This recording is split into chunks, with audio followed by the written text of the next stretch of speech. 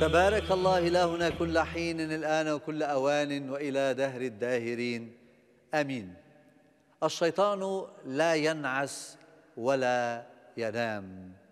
إنه يريد أن يبتلع فريسته وهكذا يقول الكتاب المقدس بأنه كأسد زائر يريد أن يقتنص كل من يقبل إليه. نهر النار عنده لا يشبع. يريد لهذا النهر أن يتغذى من أجسادنا ومن قوانا ومن أرواحنا ومن نفوسنا. إنما يريد أن يحضرنا إلى الجحيم. ولكننا لا نخشاه لأننا نحن مع المسيح. والمسيح هو الأقوى هو رب الأرباب وملك الملوك هو الجبار هو العزيز هو الذي يسحق قدرة الشيطان. ولكن عليك أيها الإنسان أن تكون في مسعى باتجاه المسيح هذا الذي ينتظرك والذي يقرع على بابك. فإن أنت أقبلت إليه إنما كنت محصنا به ولا قوة لأي أن يغلبك. الحكمة العظيمة في الصوم هي في الاقتراب من المسيح وفي أن تكون في كل لحظة أنت تائب إليه.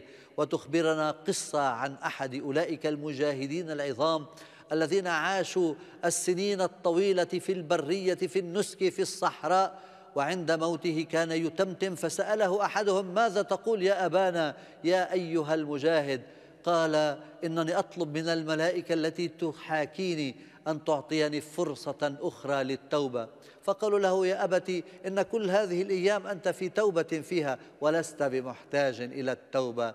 فأجابهم جوابا قاسيا وقال لهم لا أعلم إن كنت قد بدأت لأن هذا قد شعر بضعفه وشعر ببعده عن الله فصام وصلى السنين الطويلة ولكن هذه دفعته إلى أن يكون في وعي أعظم إلى أن الله لا يمكن إلا أن نقترب إليه بالتوبة وبالجهاد.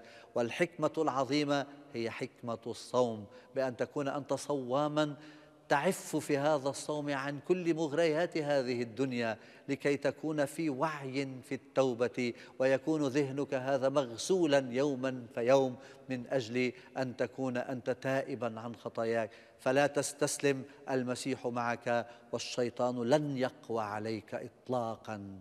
آمين.